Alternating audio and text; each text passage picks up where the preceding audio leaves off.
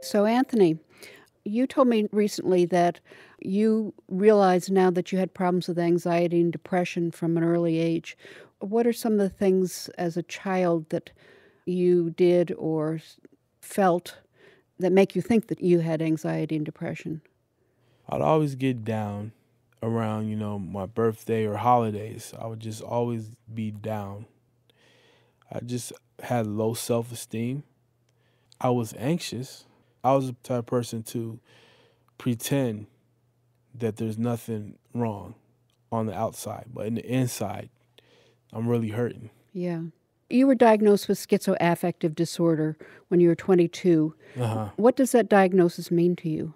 It was actually a blessing because I felt like I knew what I had instead of wondering why am I having symptoms. It's like finding something that you've been searching for and you find it. That's how I felt.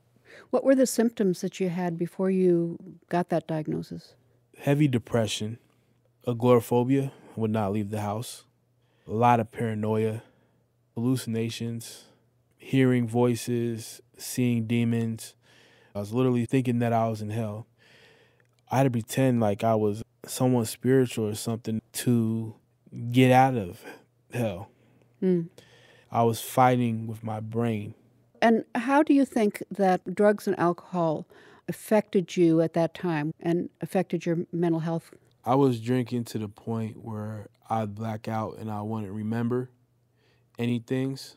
The problem with drugs and alcohol is you're damaging your brain. So when I stopped using and stopped drinking and taking prescription medicine that the doctor recommended, I started noticing big changes. Mm-hmm. I'm still not there yet, but I, I'm still on the path of getting better. Yeah.